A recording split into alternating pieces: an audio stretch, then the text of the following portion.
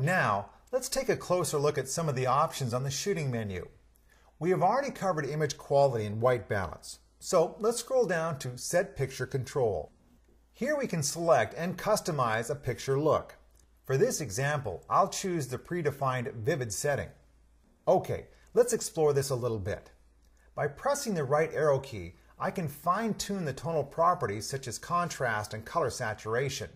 The advantage of doing this in the camera is your image will be altered before it's compressed and stored on the memory card. You may find this useful if you shoot in JPEG and want to minimize adjustments on the computer later. You can save customized picture controls by selecting Manage Picture Controls from the shooting menu. Choose Save Edit and then pick an existing picture control to work from. Make the changes you want and then press OK. You will then be able to save the settings under one of nine custom picture control slots. Like the shooting banks, the custom picture controls can be named for easier use.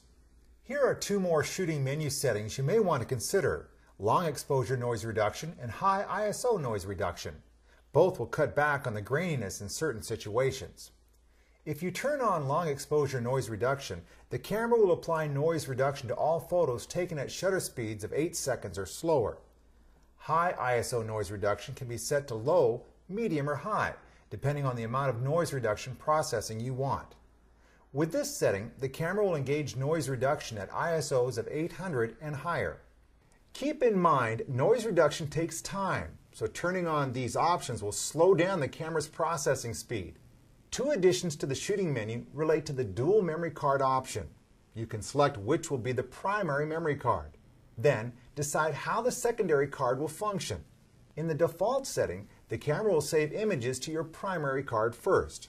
Once the card is full, the camera begins saving to the secondary card. The default may be most useful to photographers who have a fast writing memory card specifically for video. In essence, this setting allows you to segregate image files from video files. You won't have to worry about image files taking up space you need for video clips. You will need to designate your fastest memory card as a destination for all movie clips. Then, designate the slower memory card as your primary. All the photos will be saved on the slower primary card, while videos go to the faster secondary card. Video and image files will remain segregated until the primary card fills up. Option 2 for the secondary slot function creates a backup for all of your image files. Select this option if you absolutely cannot afford to lose your images. Whether your concern is disk failure or theft, or you are a journalist in a hot zone, having a backup copy in your pocket could save your work.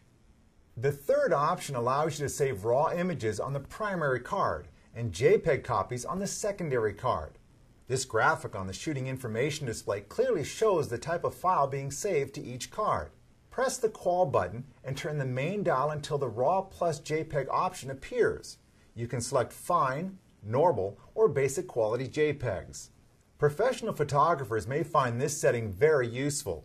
At the end of a shoot, the photographer can hand the client a disk full of JPEG copies to review. The photographer takes the RAW versions back to the studio for post-processing.